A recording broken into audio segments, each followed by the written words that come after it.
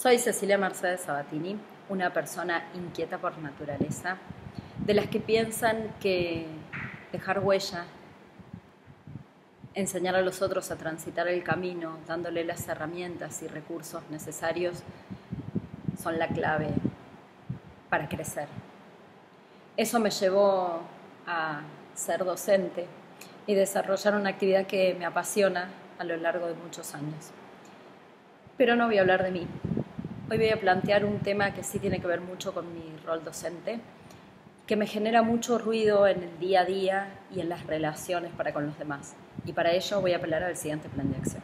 Espero se disfrute.